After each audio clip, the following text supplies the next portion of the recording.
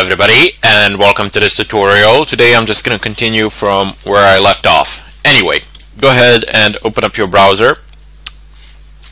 Type in, well, let's just see what the IP address is. ifconfig. Excellent, so this is my IP address. Go ahead and copy it. Yours will perhaps be different or something of a kind, doesn't really matter. Just go ahead and copy it. Control V into the URL uh, URL field of your browser, paste it there, go ahead and open up your folder, and immediately we encounter a problem here. We need a username and a password.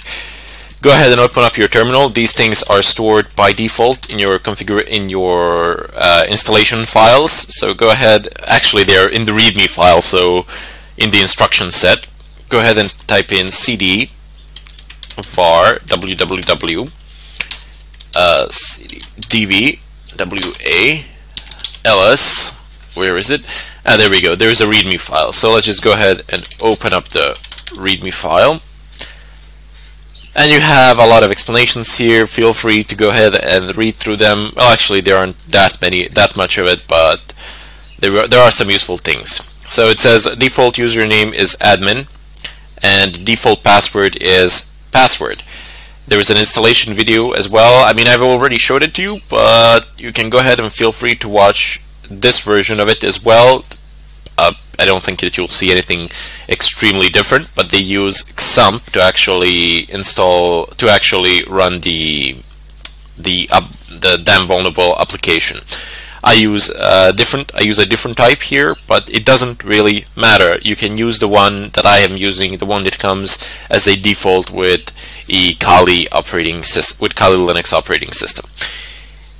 Anyway, as I said, feel free to check the link out, but we've mainly opened this file to see the username and password, and the username is admin, password is password. Feel free to change that later on, or don't, doesn't really matter, since you are the only person using this virtual machine. If this is your physical machine, uh, it would be a good idea to actually change it.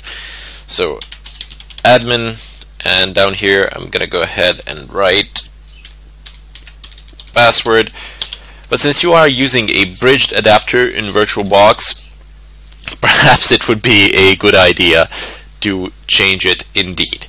But doesn't. Uh, but for the time being, let's just go ahead and see what's up for the offer here. So you have a lot of these types of attacks. You have brute force, command execution, cross-site, cross-site request forgery, uh, file in, uh, SQL injection, file inclusion, etc. There are a lot of them. I will go through some of them, but down below you I won't go through all of them obviously, but I will go through some as I said, through a significant amount anyway.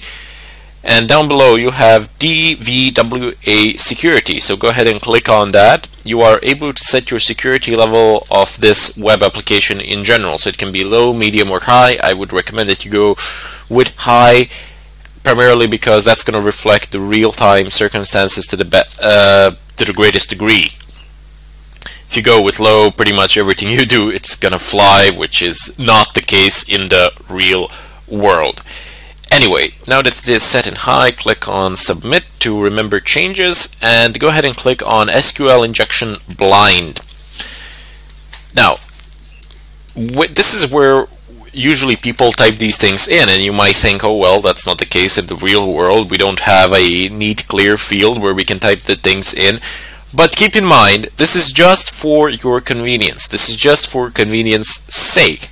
So if I just click on empty submit you can see up here in the URL section there it says ID equals and then there is nothing there. So whatever I would type in here would basically uh, be set to ID equals. Let's type in 3333 uh, submit. There you go. It says ID equals 3333. So in the real world, you would be typing these things up here in the ID section or something of a kind, while here they've just constructed a neat field where you can type these things in as I said, doesn't really matter. All the things that you type in here uh, in the user ID field, you can also type in here in the URL and the effect will be exactly the same. There is literally no difference of whatsoever. Anyway, now that we have our security parameters set up and that the environment is set up, that we've managed to log into it, let's go ahead and start up Burp suit. Why do we need Burp suit? Burp suit will create a proxy for us. Uh, we need it in order to capture some of the information.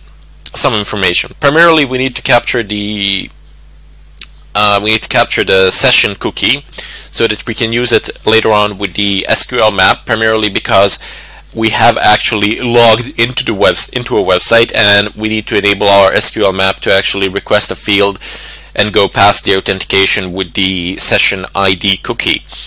This is also a good method primarily because most of the sites out there will allow you to create some sort of a basic user and at the registration site, at the main login site, there are countless countermeasures. There are uh, intrusion detection systems. Uh, if they see that something is up, the red flags will be raised, uh, your IP will be banned, and then you will need to change the IP. Uh, a ton load of things will be there. A lot of all the almost all the security systems will be focused primarily on that login page, and that can be a problem.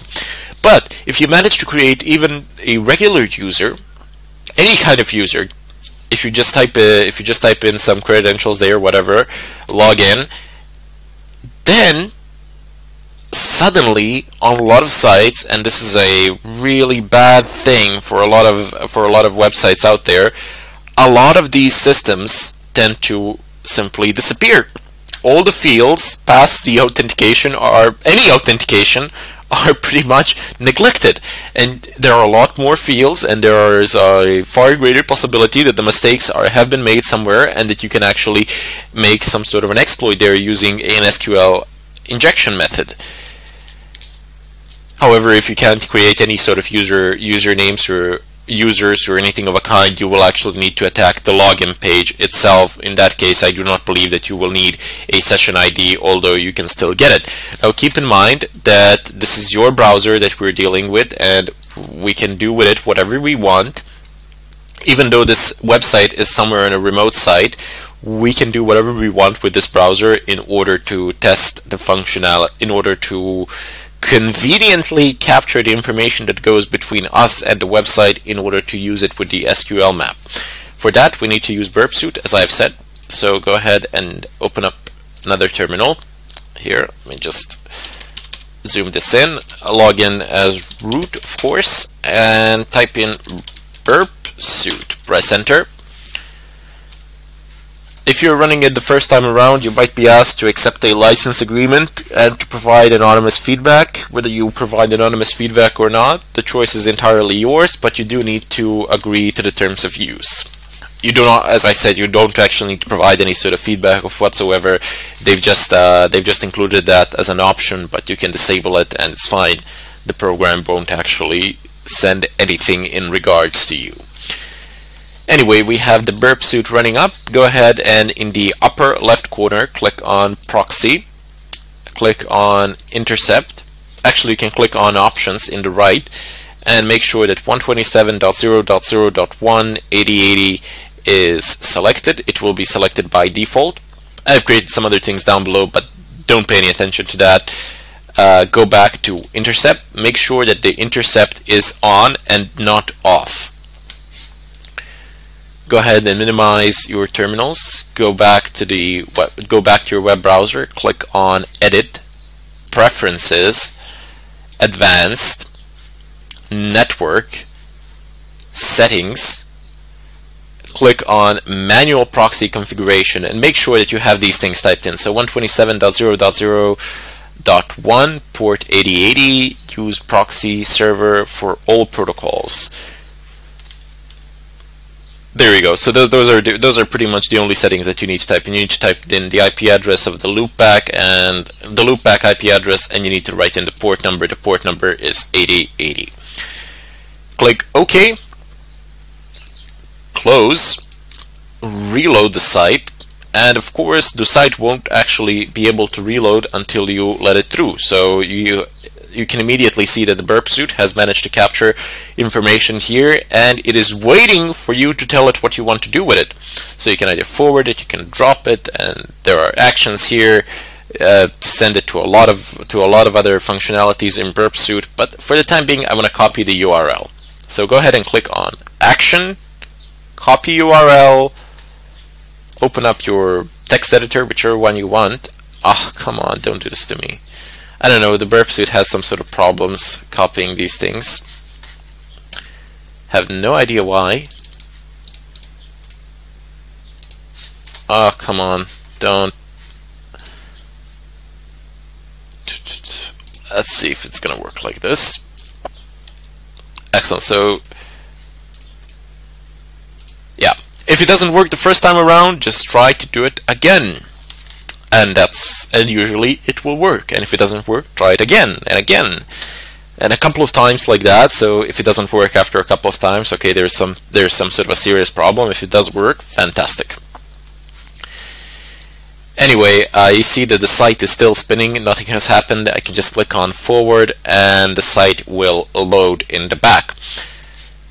Intercept is still on but we don't actually oh yes we do Okay, so I do apologize. I've actually forgot to take one more thing out of this. Uh, let's just uh, let's just repeat the process. So you see, if you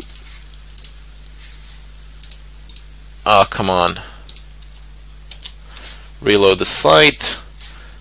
Excellent. So you see where it says cookie. It's a security high, atma blah blah blah, whatever uh, some other things down below that not even God can read, and then you have PHP SE SSID. Copy that. That is your cookie session ID. You will need it, so go ahead and copy it. Open up your text editor, and right below the URL, go ahead and type this cookie session ID. Excellent. So now you can now you can feel free to close the burp suite you sure you want to exit? Yes, I am sure. You can see if I, when I shut down the proxy, since my browser is configured to go through a proxy, it's going to shut down immediately and it's not going to be able to do anything. Uh, you will effectively render your browser unable to surf the web at all. You won't be able to use it to surf the web. So go ahead, back to settings, click on use uh, system proxy settings, click on OK, close, try again, and there we go. It does. Then it does work without any sort of problems. Now that we have taken some information, uh, you might you are not remember all of this that you are doing. You're doing on your own machine. Uh, the only thing that is remote here is this website. So you can configure your browser any way you like. We've simply used Burp burpsuite to extract certain information. We wanted the cookie session and we wanted the exact URL. Well, you could have gotten the URL from here, to be honest, but uh, doesn't really matter. I wanted to get the cookie session ID. There are some other ways and other methods, but I decided to use this one in particular with the burp suit. And in the follow-up tutorial, uh, we're gonna use the SQL map in order to try to do something here to see if we can find some vulnerabilities, to see if we can actually perform a scan and eventually extract some information. Until then, I bid you all farewell and wish you a ton load of luck with this.